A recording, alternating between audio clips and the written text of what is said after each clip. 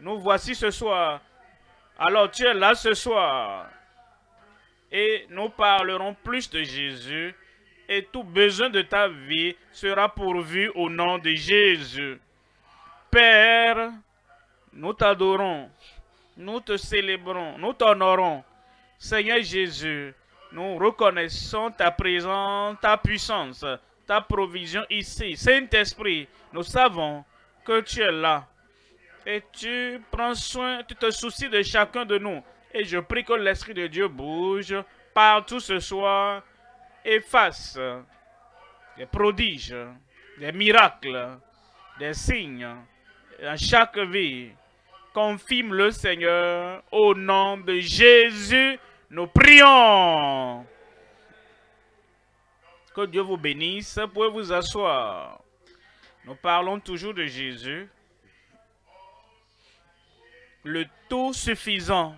Et ce soir, nous considérons Jean chapitre 7, Jean chapitre 8 et Jean chapitre 9. Nous parlons de Jésus, la source de plénitude, de liberté et de bonne santé. Ça dit tout. Jésus, la source de plénitude, la source de liberté et la source de bonne santé. Voyons Jean au chapitre 7, verset 37. Le dernier jour, le grand jour de la fête, Jésus se tenant debout s'écria, Si quelqu'un a soif, qu'il vienne à moi et qu'il boive. Il va étancher ta soif ce soir verset 38. Verset 38. Celui qui croit en moi, comme dit l'Écriture, des fleuves d'eau vive couleront de son sein. Verset 39. Verset 39, il dit cela de l'Esprit que devaient recevoir ceux qui croiraient en lui. Car l'Esprit n'était pas encore parce que Jésus n'avait pas encore été glorifié. Ce Saint-Esprit est là ce soir. Ce Saint-Esprit est à tes côtés là maintenant. Et il fera des prodiges dans ta vie, dans ton âme, dans ton esprit, dans ton corps, dans ta famille, partout. Sur les lieux de croisade, le Saint-Esprit agira de façon sans précédent et tu repartiras à la maison avec joie de cet esprit au nom de Jésus. Chapitre 8 de Jean chapitre 8 verset 32. Vous connaîtrez la vérité et la vérité vous affranchira. Il n'est pas entendu ton amène là-bas. Ta liberté est établie par Christ qui affranchit tout le monde et il brise tous les jougs. Il nous dit dans le verset 36, et il dit, si donc le Fils vous affranchit, vous serez réellement libre. Chapitre 9, et je vous lis le verset 10. Jean 9, 10.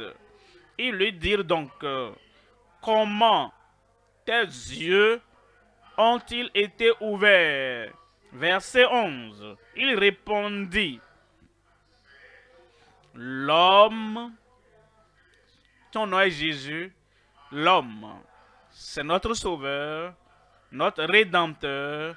Ça, c'est celui qui nous fait sortir des ténèbres et nous conduit à la lumière. L'homme qu'on appelle Jésus. Crie ce nom et il donnera la lumière aux yeux aveugles ce soir. Ces yeux affaiblis et ces yeux aveugles ce soir, c'est la soirée où tu recevras ta, ta vue miraculeuse. Glucome sera du passé. Cataracte sera conjugué au passé. Amen. Et tous ces problèmes de santé auxquels tes yeux sont confrontés. Ce soir, ces yeux seront plus clairs au nom de Jésus.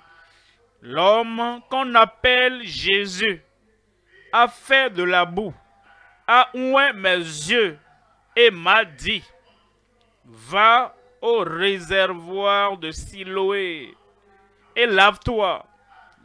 J'y suis allé, je me suis lavé et j'ai recouvré la vue.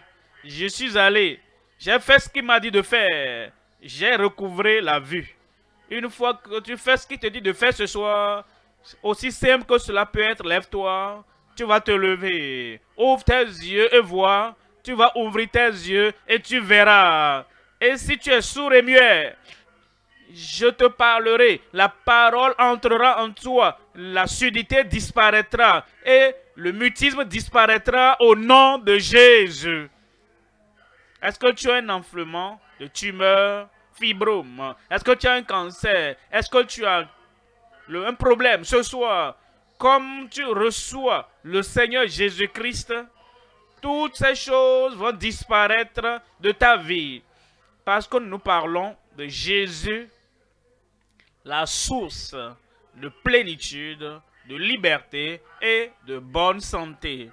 En considérant ces trois chapitres ce soir, nous divisons le message en trois parties. Premièrement, la source vive de l'esprit pour les assoiffés.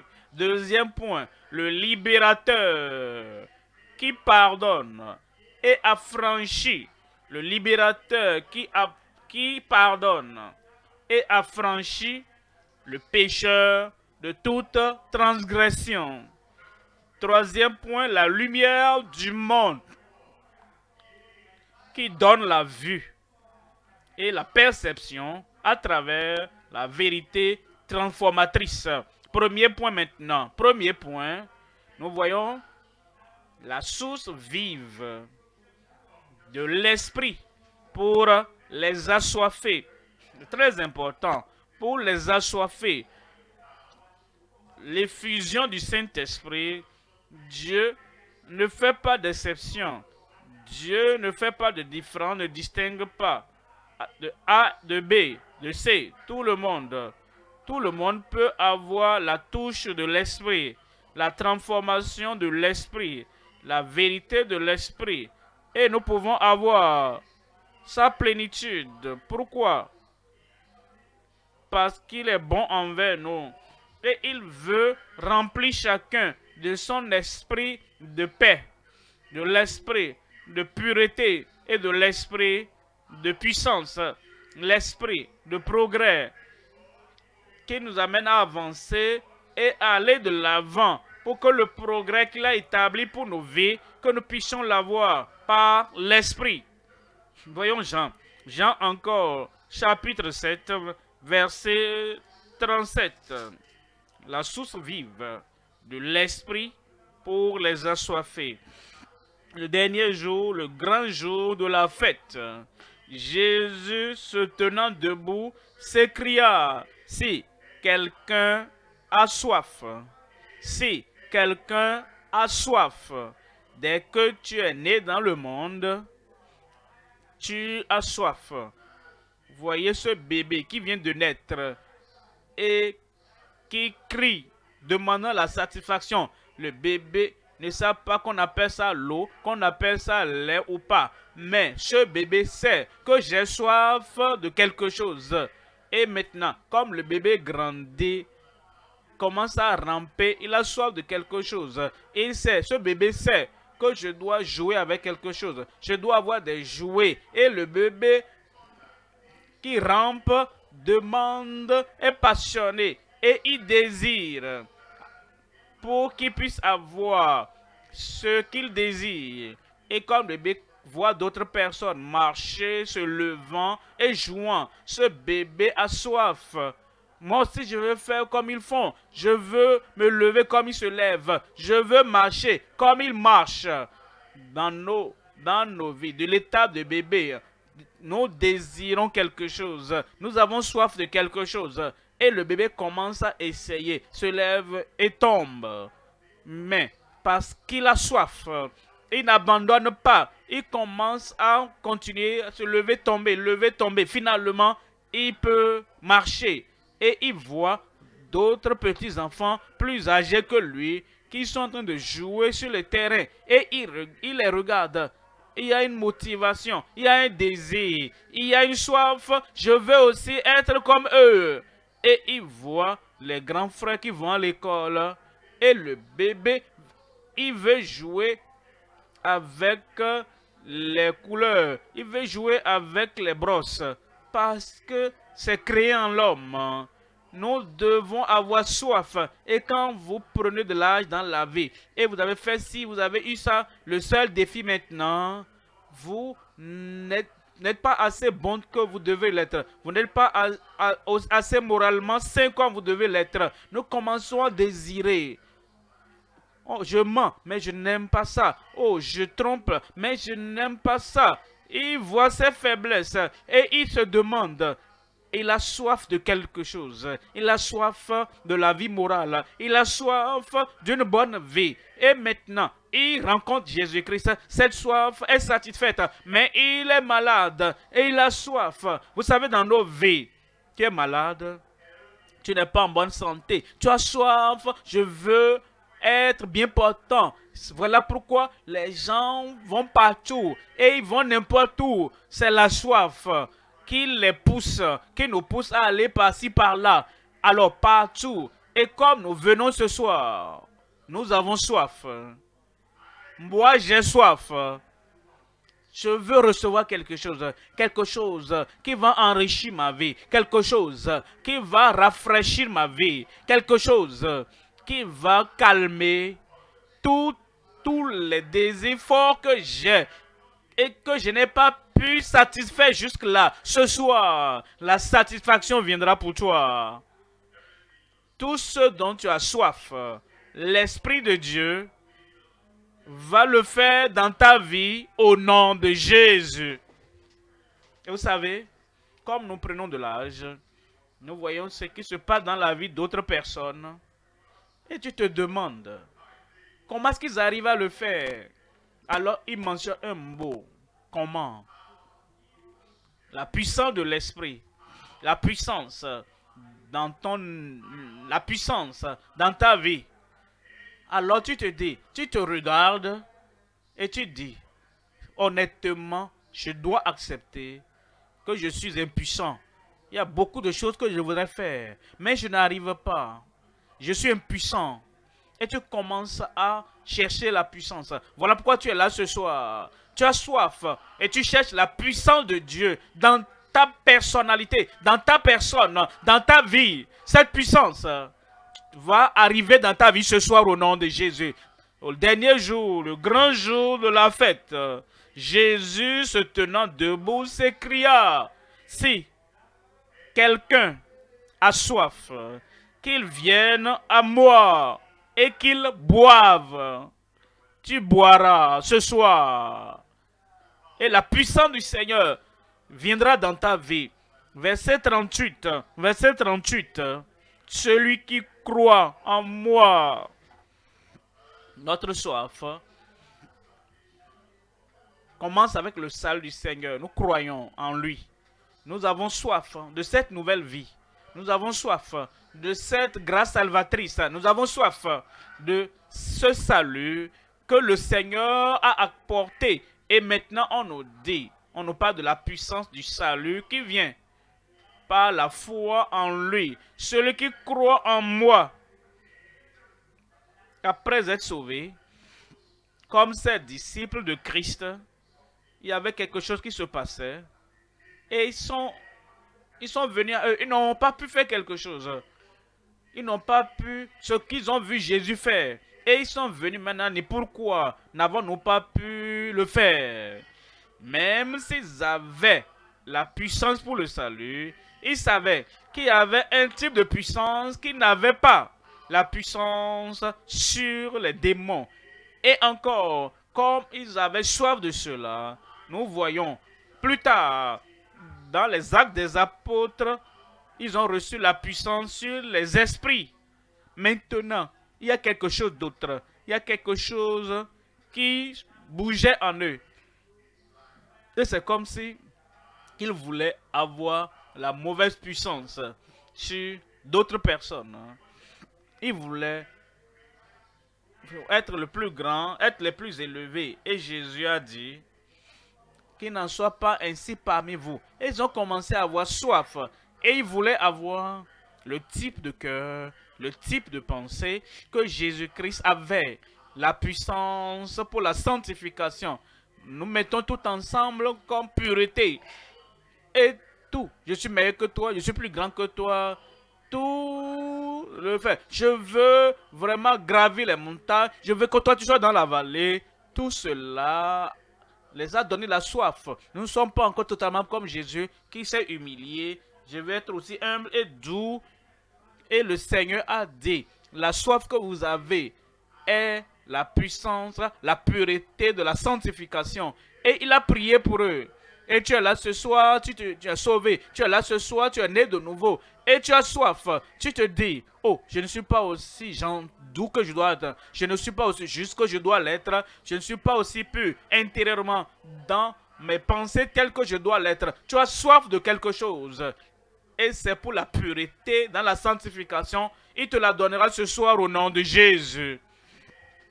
Ensuite, Jésus-Christ était sur le point de partir. Et ils étaient attristés. Ils ont dit, mais pourquoi est-ce que vous êtes tristes comme ça? Je viens de vous dire que je retourne au, Père Céleste. Ils étaient attristés parce que qui va ouvrir les yeux aveugles après son départ? Ils étaient attristés parce qu'ils se demandaient qui va faire marcher les paralytiques après son départ? Ils étaient attristés parce que même s'ils avaient la paix dans leur cœur, ils avaient la pureté dans leur vie, mais ils avaient soif de la puissance du Saint-Esprit. Bon, ils avaient soif de la plénitude de ce que Dieu avait à offrir. Cette plénitude vient pour toi ce soir. Voilà pourquoi Jésus-Christ a dit, attendez dans la ville de Jérusalem jusqu'à ce que vous soyez enveloppés, jusqu'à ce que vous soyez totalement revêtus de puissance par l'Esprit de Dieu. Dit, vous recevrez une puissance. Le Saint-Esprit survenant sur vous. Et vous serez mes témoins à Jérusalem. En son temps, ils étaient craintifs. Ils avaient peur de Jérusalem. Ils avaient peur des puissances du temps de Jérusalem. Et s'étaient enfermés derrière les, rideaux de fer. Mais Jésus a dit, vous pour moi des témoins à Jérusalem, ensuite dans la Judée, dans la Samarie, et ensuite jusqu'aux extrémités de la terre. Quand Jésus-Christ a mentionné cela, le soif a été plus multiplié. Ah, c'est ce que nous voulons. Nous voulons tenir à Jérusalem. Et ces gens-là, dont nous avions peur, je veux tenir dans la puissance du Saint-Esprit. Ils avaient soif. Et quelques jours après, ils étaient assis quelque part, le Saint-Esprit est descendu sur eux. Et dans ce chapitre 2 des Actes, Pierre se leva et il a dit ce qu'il ne pouvait jamais dire par le passé, dans la puissance de l'Esprit de Dieu. Et 3000 personnes sont nées de nouveau, transformées. La puissance viendra sur ta vie. Et tu conduiras des milliers de personnes du bon côté pour le Seigneur au nom de Jésus. Mais c'est la soif, la soif. Tu es malade, tu veux être guéri, tu as soif. Tu es opprimé, tu veux être libéré, tu es assoiffé. Tu es impuissant, impotent. Tu veux recevoir la puissance du Seigneur, tu as soif. Et tu crois en lui. Selon que dit l'Écriture des fleuves d'eau vive. Tu ne savais pas que tu as quelque chose en toi, dans ton homme intérieur avant. Mais maintenant, la paix sera établie dans ton homme intérieur. La pureté sera établie dans ton homme intérieur. Et la puissance de l'Esprit de Dieu sera établie dans ton homme intérieur au nom de Jésus. Maintenant, et de son sein couleront, de son sein couleront des fleuves d'eau vive couleront de son sein, comme dit l'Écriture. Et dit cela de l'Esprit que devait recevoir ceux qui croiraient en lui. Car l'Esprit n'était pas encore, parce que Jésus n'avait pas encore été glorifié. Il nous dit, en Acte chapitre Ésaïe, chapitre 44 plutôt, Ésaïe 44, verset 3. Ésaïe 44, 44, 44, 3. Car je répandrai des eaux sur le sol altéré. Amen. Dieu dit, je cherche ceux qui ont soif. Et je vais répandre des eaux sur ceux qui ont soif.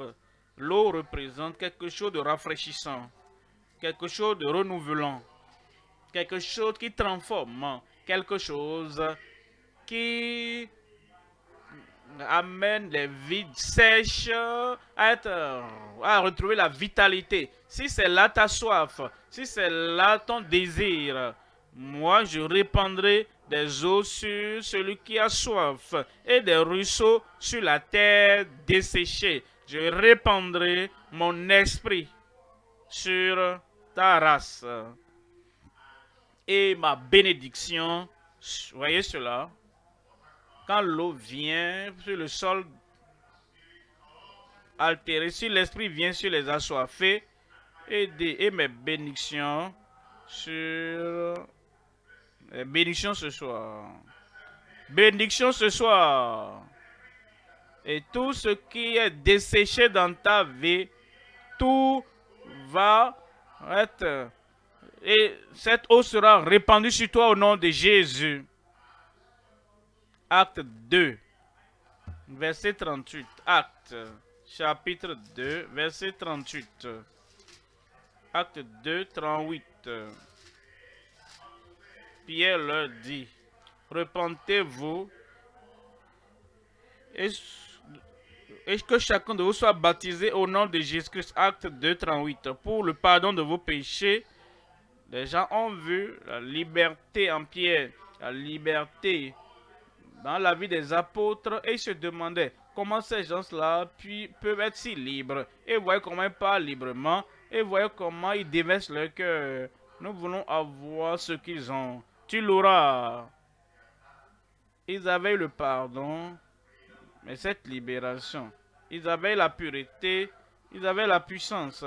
Et comme ils se sont levés, prêchant, comme ils se sont levés, s'exprimant avec l'abandon total de soi. Qu'est-ce que nous allons faire? Nous avons des culpabilités qui nous maintiennent. Hein.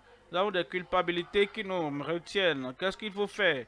Pierre a dit, repentez-vous et que chacun de vous soit baptisé au nom de Jésus-Christ pour le pardon de vos péchés et vous recevrez le don. C'est un don. Vous devez, devez avoir soif. Comme vous avez soif ce soir, vous recevrez le don du salut le don de la sanctification, le don de l'esprit. Tout est disponible pour vous. Verset 39. Verset 39. Car la promesse est pour vous. Car la promesse est pour vous. Vous avez soif. Venez boire. Vous désirez. Venez boire. Vous êtes passionné. Venez boire. De la présence, de la plénitude de la présence de Dieu. La promesse est pour vous, pour vos enfants, et tous ceux, tous ceux, tous ceux, tous ceux qui sont loin, en aussi grand nombre que le Seigneur notre Dieu les appellera. Il t'appelle. Il t'appelle. Il m'appelle. Il m'appelle tout ce que Dieu appellera, comme tu réponds à cet appel, la paix va couler dans ton cœur. La paix va remplir ton cœur. La pureté va saturer dans ta vie. Et la puissance va t'envelopper. La puissance. Tu seras immergé dans la puissance de l'esprit. Premier point, la source vive de l'esprit pour les assoiffés. Deuxième point maintenant. Deuxième point. Le libérateur qui pardonne et affranchit le pécheur de toute transgression. Ce chapitre 8 est très important, très instructif et très inspirant. Ce qui est arrivé ici, dans Jean 8, il y avait une femme qui avait été surprise dans une situation où elle ne devrait pas être. J'ai dit qu'elle a été surprise. Je n'ai pas dit qu'elle a commis. Parce que pour commettre le péché, tous sont péchés. Et ils sont privés de la gloire de Dieu. Et les pharisiens, qui étaient pécheurs eux-mêmes, ils regardaient et ils l'ont surpris. Mais l'Esprit de Dieu va attraper ceux qui attrapent. Est-ce que vous avez entendu ça? Le Seigneur va attraper ceux qui attrapent les autres. Et quand ils l'ont attrapé, ils ne pensaient pas à leur vie. Ils l'ont amené. En réalité, ils l'ont forcé.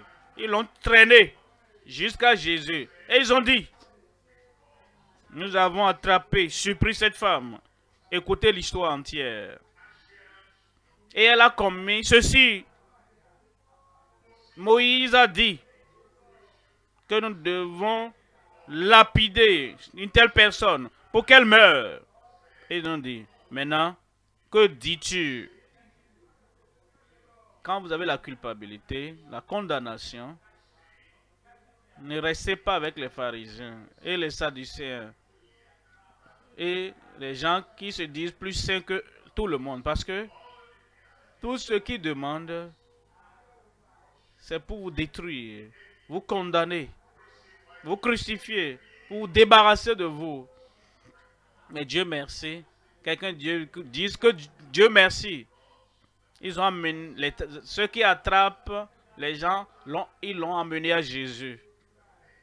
Le meilleur endroit où, quelqu'un peut t'amener. Là, il y a la culpabilité. Là, il y a la condamnation. Là où tu as fait quelque chose de mauvais. Le, la meilleure personne chez qui on peut te reporter, c'est te, te, reporter à Jésus. J'ai dit, c'est te reporter à Jésus. Ces pharisiens, ils ne savaient pas. Ils ne savaient pas. Ils sont devenus des évangélistes. Parce qu'après avoir surpris la femme, ils l'ont amené à Jésus. Mais ils espéraient une chose, que Jésus, qui est si saint, qui est si pur, qui est si grand, qui est si céleste, que la fin était venue pour cette femme. Non. Quand tu viens à Jésus, ta vie vient à peine de commencer. La fin ne viendra pas pour toi. Mais j'ai péché, non? Oui, on t'amène au Sauveur mais je suis coupable. Mais on t'amène chez celui qui donne la grâce. La grâce viendra à toi ce jour. Ainsi donc, Jésus a dit, celui qui est sans péché parmi vous, jette le premier la pierre contre elle.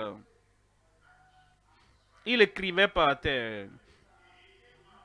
Et ils ont été convaincus et Jésus les a attrapés. Il va attraper tous ceux qui t'attrapent.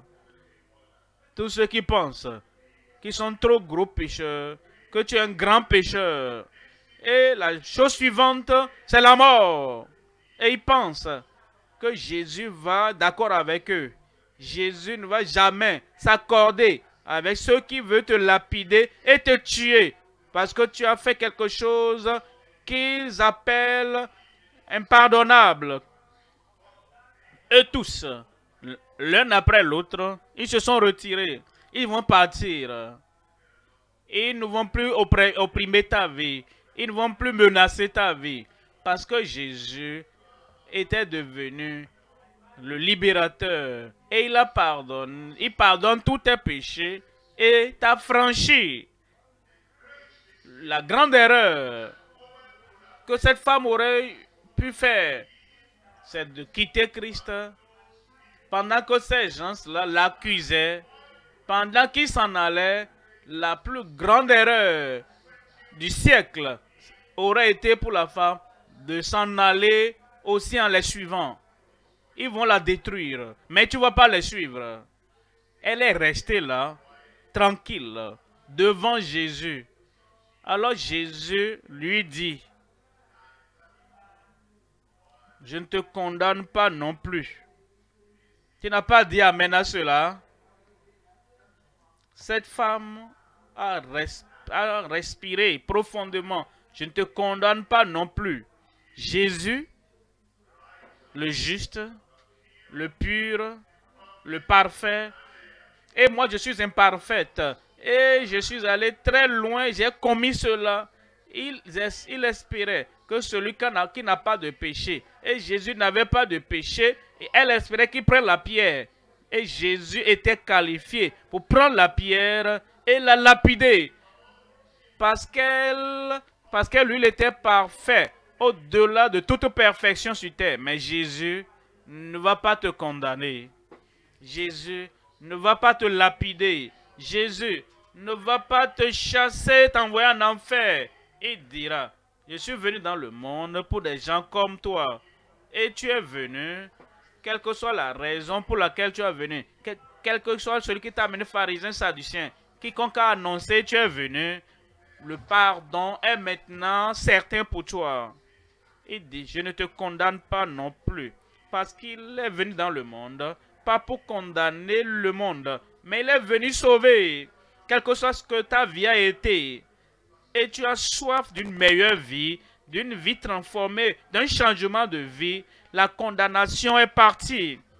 Cette soif qui t'amène qui t'amène à te dire, oh, je, je veux une meilleure vie. Cette meilleure vie vient pour toi ce soir. Je veux une vie juste. Cette vie juste est venue pour toi ce soir. Va et ne pêche plus. Quoi? Va et ne pêche plus. Personne ne pouvait jamais dire à aucun un homme, à une femme, les sacrificateurs de l'Ancien Testament disons, d'accord, on a fait l'expiation de tes péchés maintenant. Va et reviens le jour d'expiation pour que nous puissions faire une autre couverture pour tes péchés, année après année, année après année. Ils avaient à continuer à faire les sacrifices parce qu'aucune puissance pour délivrer qui que ce soit du péché, du péché. Mais Jésus a dit, tu es pardonné maintenant. Et avec le pardon, je te donne la libération. La libération pour toi. La libération pour toi. Va et ne pêche plus. La grâce, la puissance, la force, le désir de mener une nouvelle vie. Tu as ça ce soir au nom de Jésus. Ma condamnation est annulée. Je ne t'ai pas entendu. Ma condamnation est annulée. Dis-le pour toi-même. Ma condamnation est annulée. Ma, sentence de mort est annulée. Tu ne mourras pas dans le péché. La nouvelle vie est venue maintenant. Le ciel ne te condamne pas. Le ciel à travers Christ t'a donné le pardon ce soir. Va avec la nouvelle force et ne pêche plus. Verset 12. Verset 12. Jésus leur parla de nouveau et dit, il, en parlant la femme, il parle maintenant à tout le monde. Il te parle, il me parle. Et il parle à tout le monde disant, je suis la lumière du monde. Celui qui me suit ne marchera pas dans les ténèbres. Se référant à cette femme, elle ne marchera plus dans les ténèbres de l'immoralité. Elle ne marchera plus dans les ténèbres de l'iniquité. Elle ne marchera plus dans les ténèbres du mal, de la transgression. Et d'elle et pour tout le monde, il dit, celui qui me suit ne marchera pas dans les ténèbres, mais il aura la lumière de la vie. J'ai. Tout le monde j'ai la lumière de la vie. Il vient à toi et il te donne cette vie. Et il te donne cette grâce. On nous dit dans le verset 30, verset 30. Verset 30. Comme Jésus parlait ainsi, plusieurs crurent en lui. Et comme tu entends ces paroles, ton cœur dit, oh, je ne savais pas. Maintenant, je sais que Jésus pardonne. Je sais que Jésus a franchi. Je crois. Et comme il parlait, ainsi plusieurs crurent en lui. Verset 31. Et il dit aux Juifs qui avaient cru en lui, si vous demeurez dans ma parole, je vais demeurer. Je vais demeurer. Ça veut dire quoi?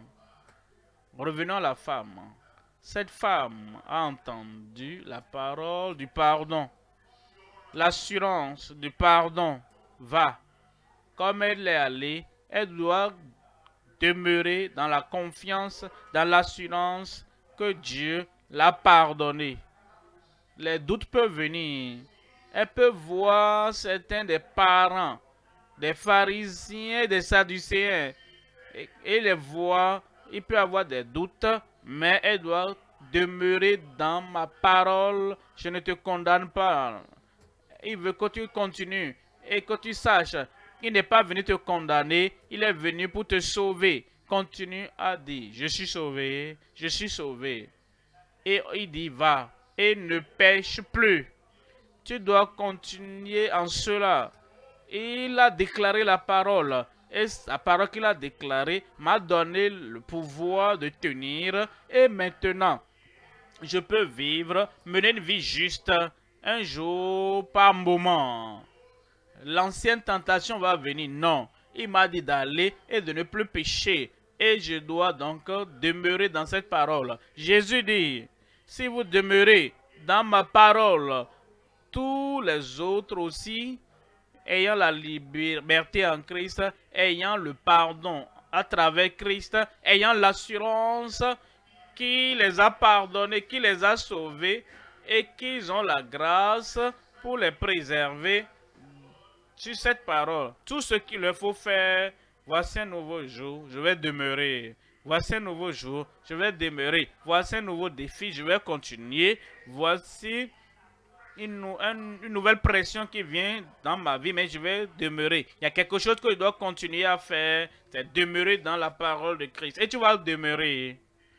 Si vous demeurez dans ma parole, vous êtes vraiment mes disciples.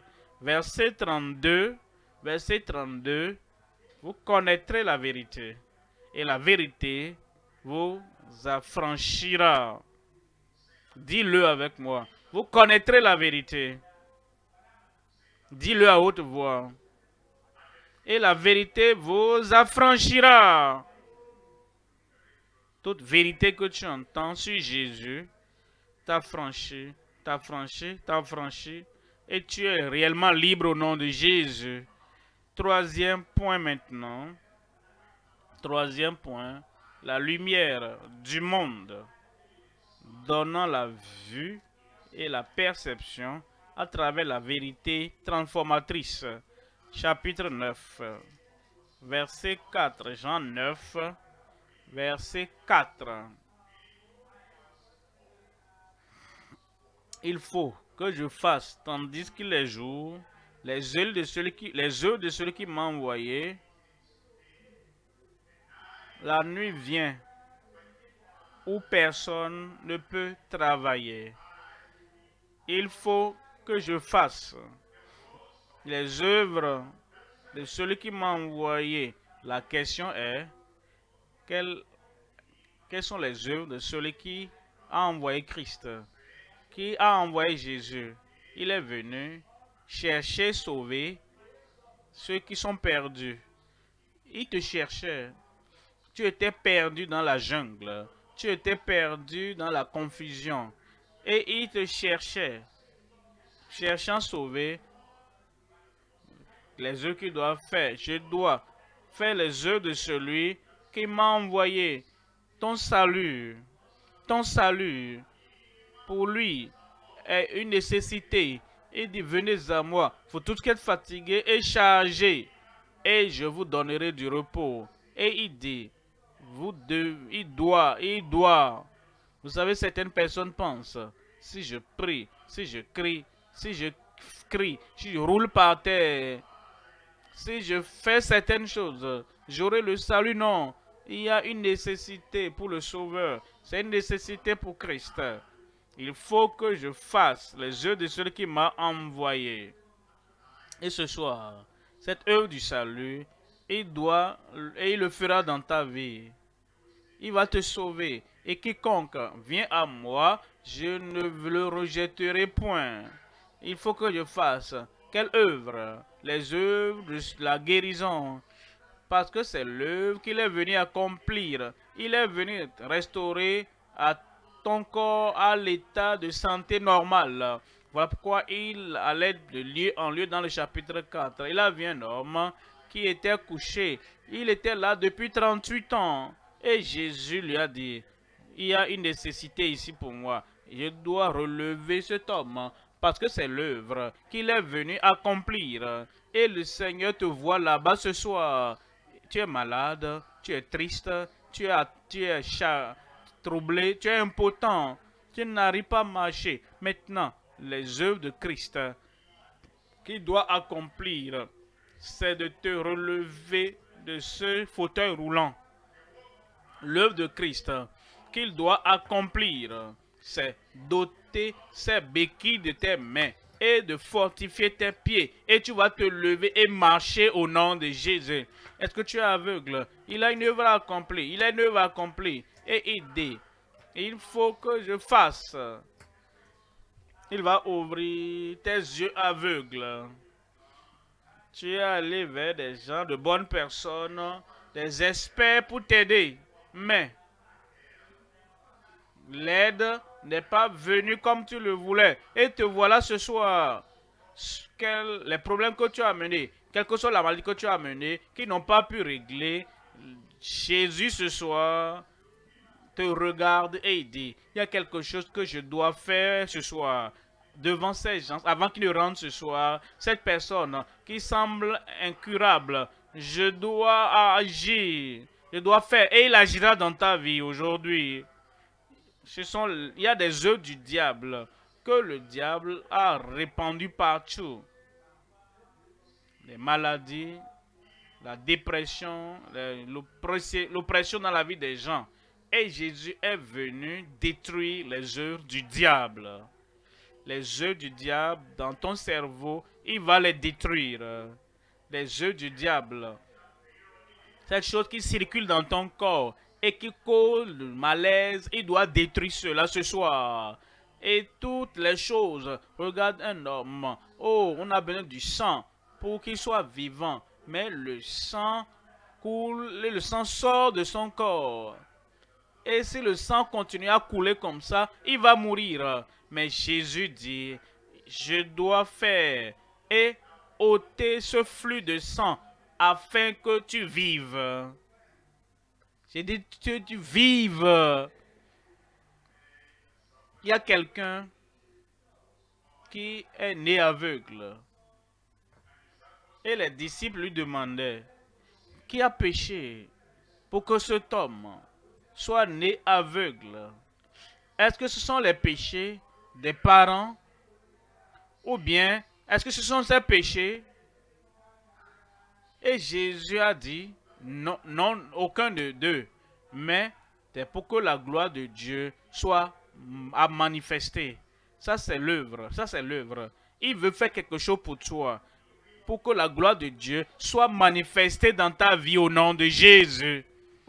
Alors l'homme qui était né aveugle est allé à Jésus et Jésus a fait de la boue, a placé dans ses yeux et a dit va te laver. Il voulait tester son obéissance. Il pouvait dire que les yeux aveugles soient ouverts et ça va s'ouvrir. Mais il l'a envoyé, va te laver à Siloé et tu reviendras avec la vue. L'homme n'a pas argumenté. Tu l'as fait pour les autres comme ça et comme ça. Pourquoi est-ce que tu ne fais pas pour moi comme ça ou comme ça? On n'argumente jamais avec lui. Il connaît son œuvre. C'est comme si tu dis au docteur, ah, pourquoi est-ce que tu dois mélanger ceci et ces produits-là Pourquoi ne pas faire ça comme ça? Si tu savais comment le faire toi-même, Pourquoi est-ce que tu allé à l'hôpital? Maintenant L'homme n'a pas argumenté. Tu ne vas pas argumenter aussi. Je ne vais pas argumenter. Et il est allé exactement comme Jésus l'a dit. Et il s'est lavé. Et voici cette ténèbre, l'aveuglement, il est avec lequel il est né, tout a disparu immédiatement. Cette infimité avec laquelle tu es né, tout va disparaître immédiatement. Et il est revenu, il est revenu. Et on lui a demandé, comment est-ce que tu vois maintenant? Il dit, un homme, l'homme de Dieu et le fils de l'homme. Il a fait de la boue, il a placé sur mes yeux. Et je suis revenu et je vois. Après l'avoir obéi, et maintenant, je vois. Maintenant, tu peux voir. Maintenant, tu peux te lever. Maintenant, tu es guéri. Ça, c'est l'œuvre de Christ. Et jusqu'à ce jour, il dit, il faut que je fasse. Sur toi là-bas, il doit faire. Sur elle là-bas, il doit travailler les œuvres du salut. Il va te sauver maintenant même. Il doit, comprends ça, il doit il faut que je fasse les œuvres du salut. Il doit, il faut que j'accomplisse l'œuvre de la guérison. Il va le faire. Je dois accomplir l'œuvre de la délivrance. Et c'est disponible pour toi. Pour moi. Où es-tu là-bas? Pour moi. J'ai dit, où es-tu là-bas? Pour moi. Ce soir, il fera l'œuvre des prodiges dans chaque vie au nom de Jésus.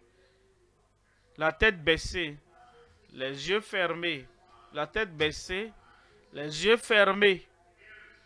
Voici ton moment pour avoir le pardon. Je ne te condamne pas non plus. Peut-être tu cherches la condamnation. Je suis mauvais, je dois être condamné. Non, Christ dit, je ne suis pas venu condamner. Je suis venu sauver. Il est venu pardonner. Il est venu t'affranchir. Et tu auras ce don gracieux du Seigneur ce soir, il va te sauver de tous tes péchés. Lève simplement ta main. Lève simplement ta main. Je veux ce salut. Je veux ce pardon. Et c'est ce qu'il doit faire avant que tu ne rentres ce soir. Et il doit te pardonner. Il doit t'affranchir. Il doit te sauver. Et tu veux ce salut maintenant. Lève simplement ta main là-bas. Ce salut est disponible. Pourquoi ne pas te lever? Lève-toi s'il te plaît. Si tu lèves ta main, je veux cette œuvre du salut dans ma vie. Il le fera maintenant. Lève-toi là-bas, lève-toi là-bas. Je t'attends. Tu veux avoir le pardon, le salut? Qui veut avoir la liberté. J'attends cette personne. Lève ta main, mets-toi debout. Merci beaucoup. Que Dieu te bénisse là-bas. Partout tu es en ligne, à la radio, à la télévision. Voici l'œuvre qu'il doit faire pour te donner le salut. Comme tu lèves la main, tu te lèves.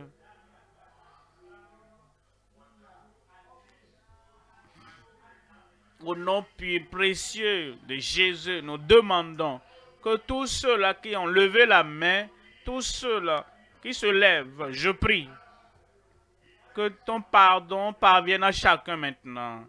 Que la condamnation soit annulée, que la mort spirituelle soit annulée. Et la joie du salut, l'évidence du salut, la réalité du salut parviennent à chacun maintenant au nom de Jésus. Seigneur, nous savons que cette œuvre du salut, tu dois l'accomplir. Tu l'as fait. Il l'a fait.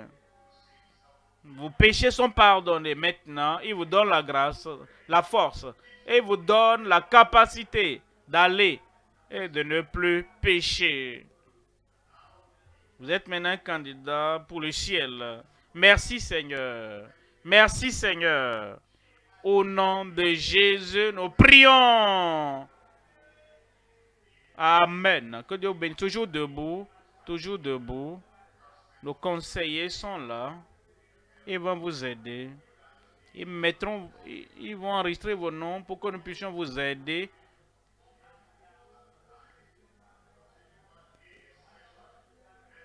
Et après cette session maintenant, le qui doit accomplir pour vous guérir, je reviendrai. Et vous aurez votre guérison ce soir.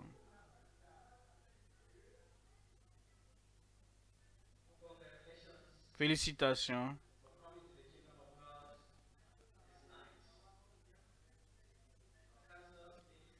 Le conseiller.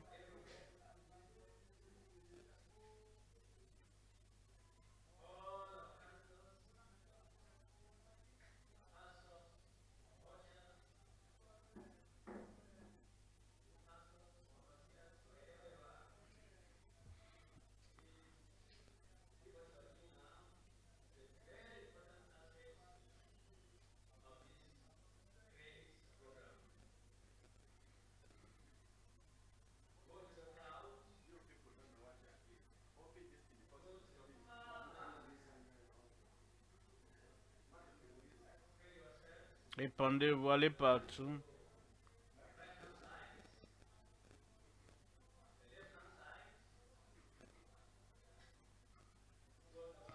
Derrière, n'importe où, allez partout.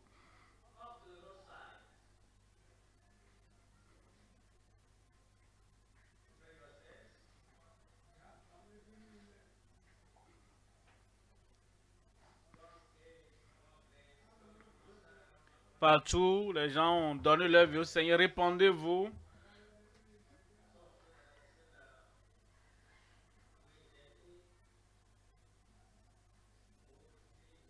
Allez, allons-y rapidement.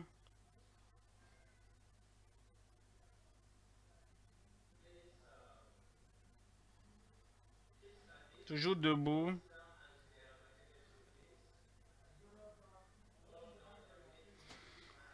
Partout nous sommes, occupons-nous de ceux-là qui ont levé leurs mains.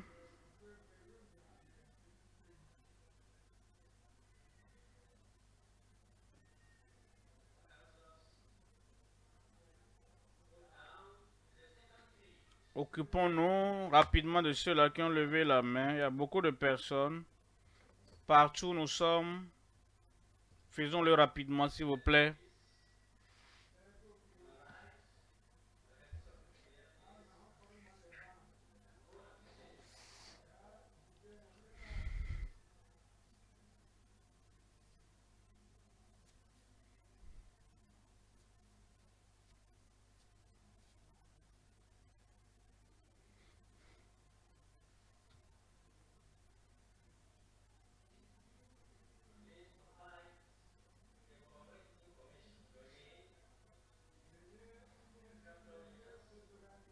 Donnez vos informations correctes au conseiller pour nous permettre de pouvoir vous contacter facilement après, vous qui avez levé les mains.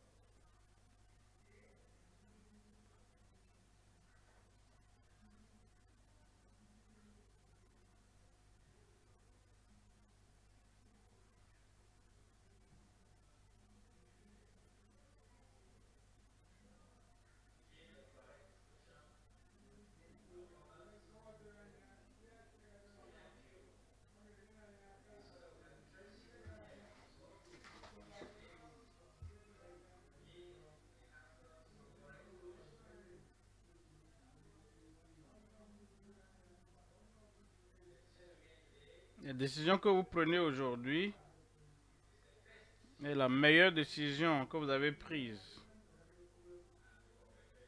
Et nous vous félicitons pour ça.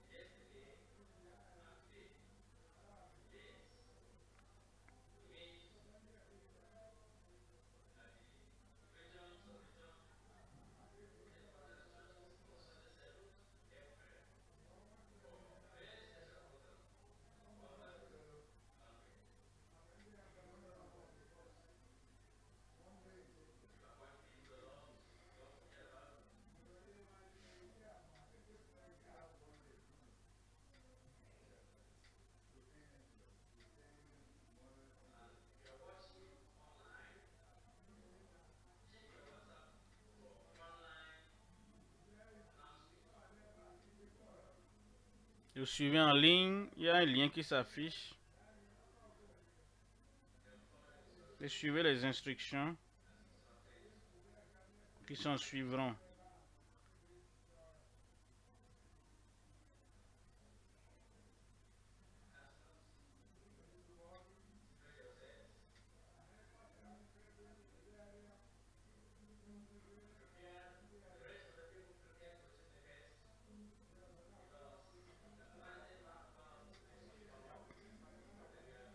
Préparez-vous car l'homme de Dieu reviendra bientôt. Prépare-toi, dit Seigneur. Aujourd'hui, tu n'échapperas pas au miracle de Dieu. Prépare-toi avant le moment de la prière.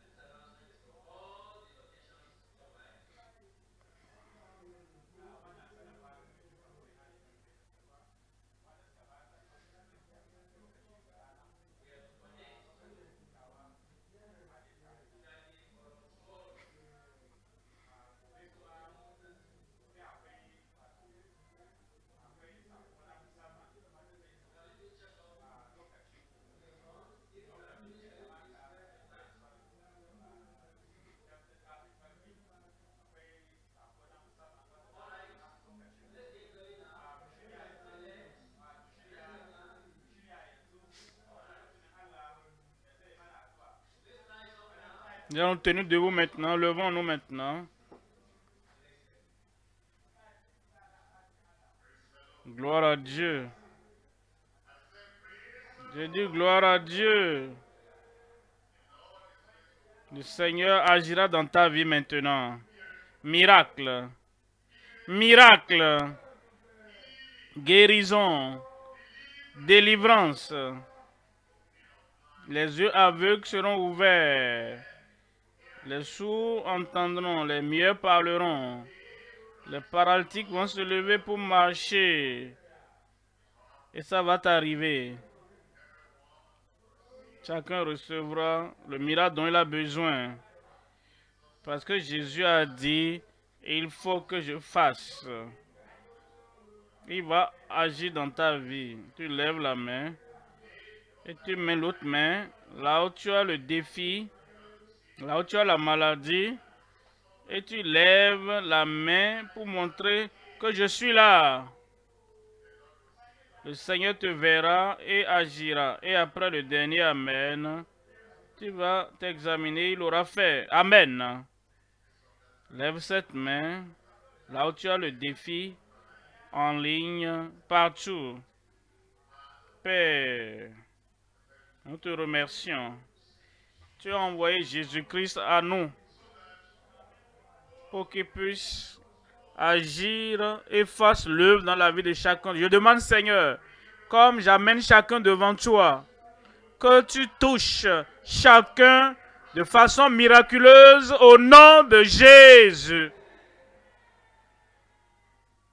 Seigneur, guéris les malades, délivre les opprimés, brise tous les jougs et que tout problème que chacun a amené devant toi règle les problèmes, règle les problèmes et ôte les problèmes au nom de Jésus. Esprit d'insanité, de folie, je te commande, sors au nom de Jésus. Les yeux aveugles, les yeux faibles, Dieu vous touche maintenant même. Ouvrez ses yeux aveugles et voyez ce soir au nom de Jésus. Ceux qui sont sourds et muets, je prie que le Seigneur touche vos oreilles, votre corde vocale. Commencez à entendre et à parler au nom de Jésus. Ceux qui ont d'enflement de tumeurs sur le corps, enflement de goitre, de bosse, de fibrome, de tumeur, quelle que soit la nature, sortez au nom de Jésus. Et ceux qui ont la paralysie de n'importe quelle forme, polio, le Seigneur vous touche maintenant.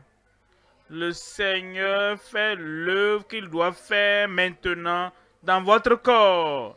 Recevez la force, recevez la puissance.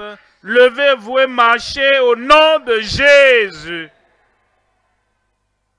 Cancer, vous êtes guéri. Ulcère, vous êtes guéri. Problème de foi, vous êtes guéri. Tout problème interne, vous êtes guéri. Et toute puissance qui vous maintenait lié dans l'impotence, vous êtes délivré au nom de Jésus. Seigneur, partout maintenant, à droite, à gauche, devant, au milieu, derrière, de l'autre côté, à, partout sur la clôture, l'œuvre de miracle, guérison, de délivrance est accomplie maintenant au nom de Jésus. En ligne, à la télé, à la radio, vous écoutez dans tous les niveaux, médias sociaux, miracles partout, guérison partout, délivrance partout. Seigneur, nous t'honorons parce que tu nous as dit que c'est l'œuvre que tu dois accomplir. Et c'est fait. C'est fait. C'est fait. Au nom de Jésus, nous prions.